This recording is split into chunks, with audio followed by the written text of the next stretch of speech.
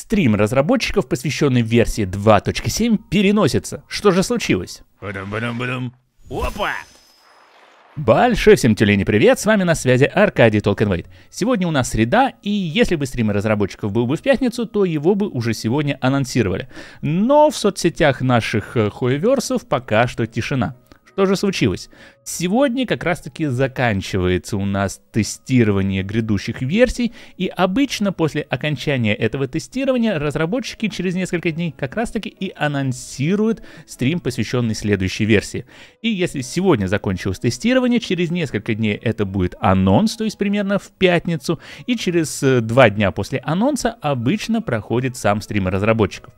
Поэтому, скорее всего, сама прямая трансляция будет проходить не в пятницу, как мы это привыкли, видеть, а либо же в субботу, либо же в воскресенье.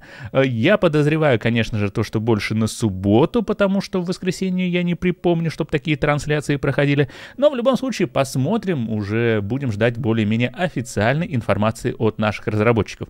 По поводу баннеров пока что ничего не известно, ходят слухи про какого-то Сяо, которую я просто не верю, но Ита и Елань это уж точно определенно они будут в обновлении 2.7. Ну что ж, вот такие вот новости сегодня прилетают. Обязательно не забудь в день выхода прямой трансляции прийти к нам на стрим для того, чтобы посмотреть его и забрать свои 300 примагемов, а также весело провести время вместе со мной.